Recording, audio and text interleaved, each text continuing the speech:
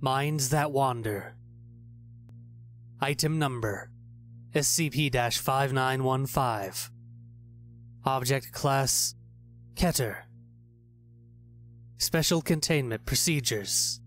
Disinformation Campaign, Medical Mystery, and routine observation in the Gulf of Mexico remain in effect.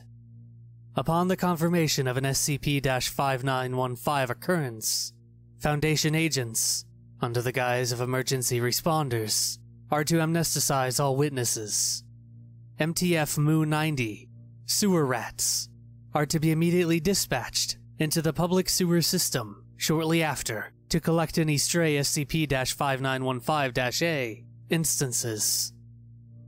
Description SCP 5915 is a phenomenon that occurs within the city of Biloxi, Mississippi, each summer.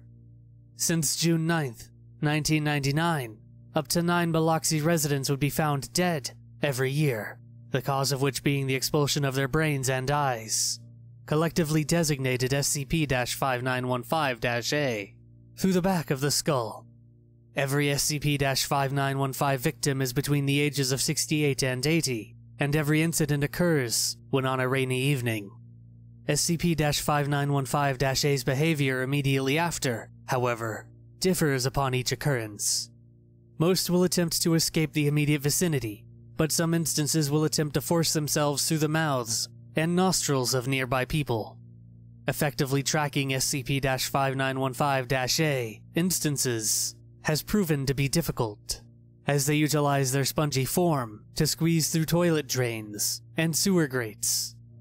The location of escaped SCP 5915 A instances is currently unknown.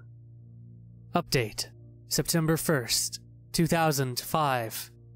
On the morning of August 31st, 2005, an assessment of the damages of the recent Hurricane Katrina took place along the Gulf Coast. Among the debris, first responders found an estimated 48 disembodied brains on Biloxi Beach. Each brain was found to be accompanied by an attached pair of eyes that facilitated its movement. The Foundation took notice of this and confirmed the description matched that of SCP 5915 A. Of the 48 instances found, 23 had fit themselves into empty seashells, and 19 had begun burying themselves in the beach or piles of loose garbage. The remaining six had infiltrated the skulls of deceased hurricane victims by means of lifting and dropping their heads onto sharp rocks and forcing the native brains and eyes out. Out of the six SCP 5915 A instances, two had achieved integration with their corpses, save for the eyes, which hung loosely out of the point of entry. However, they were only capable of involuntary spasms and incoherent vocalizations due to significant brain damage.